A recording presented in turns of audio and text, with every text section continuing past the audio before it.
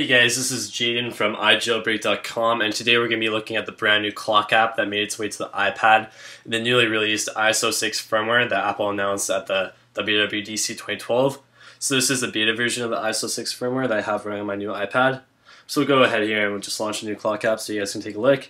So at the top you can see this is where all our clocks appear that we can add. We can add up to 24 configurable clocks. So I'll add a few more here just to kind of show you how things are going.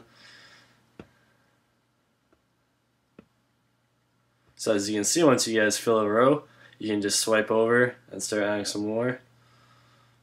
So what's really neat about this is we have the nice time zone map at the bottom here. So whichever new clocks you add, it'll appear on the time zone map. And also you can see that we also have a weather report for each time zone that we add. Um, another nice feature of this new clock app is if you actually click on a clock, you can see we go to a full screen view. Then we can also get rid of that information on the side. So we have kind of just a nice clock display. Um, if you notice here, we have two different colors. If it's a black clock, it means it's nighttime right now in that specific area. And then if it's white, it obviously means it's daytime. Um, so that's pretty much the clock app. You can see that up here if you want to delete time zones or kind of rearrange them, you can definitely do that.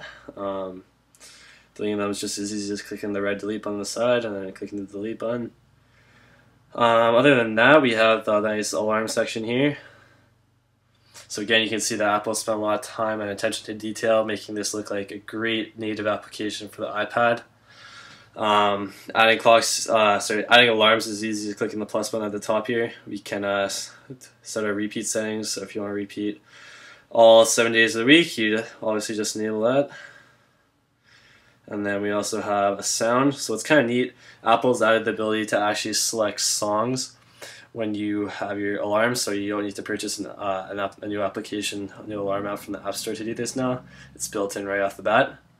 Um, obviously, they have their default sounds as well, so that's kind of cool. We can enable snooze. Um, it's pretty simple stuff, really, other than just the label that we can name our alarm. Um, so sure, we go ahead and add that, and you can see it appears next to this again. A nice little little table here for all our alarms, and then Again, deleting alarms is simple. Just come on the side, click the red circle. Uh, as for stopwatch, again, you can see Apple's kind of integrated everything to kind of look and match the same UI. So we have uh, a, definitely a different look from the iPhone and iPod Touch clock app, but you can see it definitely works well for the iPad. We can click the start button here, timer obviously starts. Then we can, again, the start button turns into a lap timer, and stop button turns into a reset button once you press the stop. So that's about it for the stopwatch.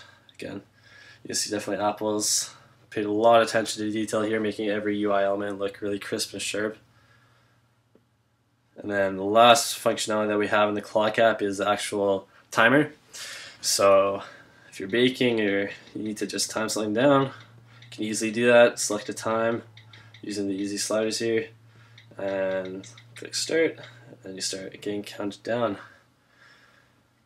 So that's pretty much the new clock app on the iPad that will be shipping in the iOS 6 firmware that's coming publicly in the fall. Um, make sure you guys let us know what you think of the new clock app in the comments section below. And make sure you guys visit ijailbreak.com for more updates. Thanks for watching.